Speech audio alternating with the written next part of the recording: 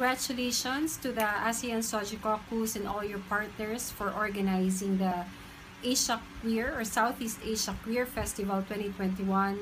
Uh, we at Plan International Asia Pacific uh, would like to commend you for this very relevant, timely, and creative initiative.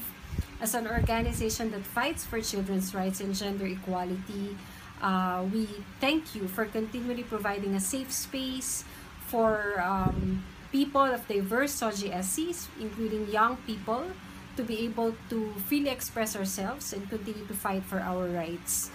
Um, we believe that there are so many stories in the region that are worth sharing, and there are so many different ways that we can tell these stories.